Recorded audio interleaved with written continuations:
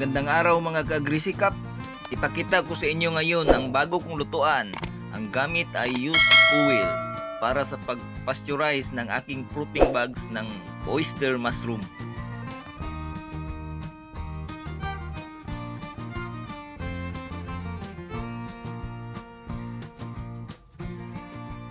Ito ang lalagyan ng used oil.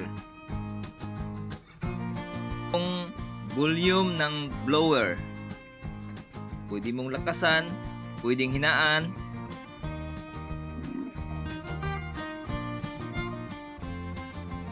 Ito yung blower.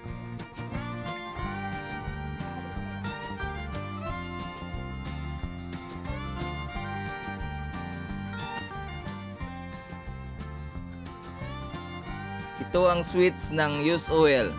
Kung gusto yung lakasan ang apoy, lakasan din ang tagas. Kung gusto yung hinaan ng apoy, hinaan din ang tagas.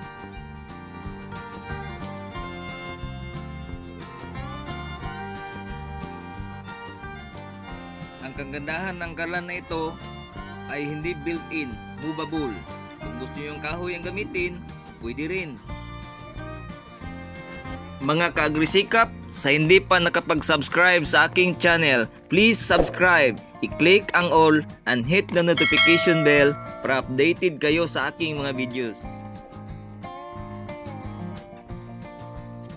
Para madaling sindihan, lagyan muna natin ng kunting gas.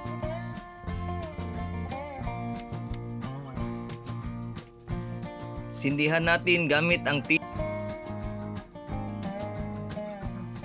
Pag mainit na ang kalan, saka pa natin i-open yung blower.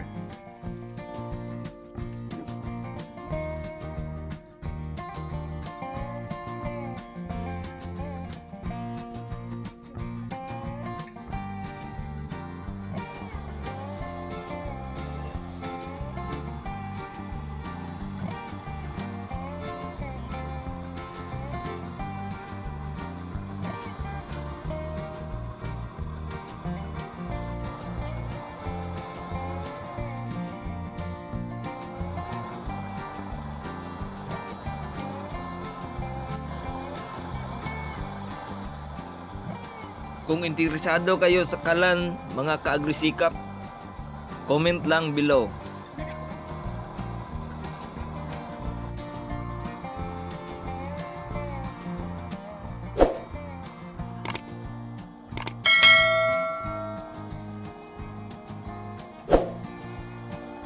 Salamat mga kagrisikap sa panonood at pagsubaybay. Hanggang sa muli!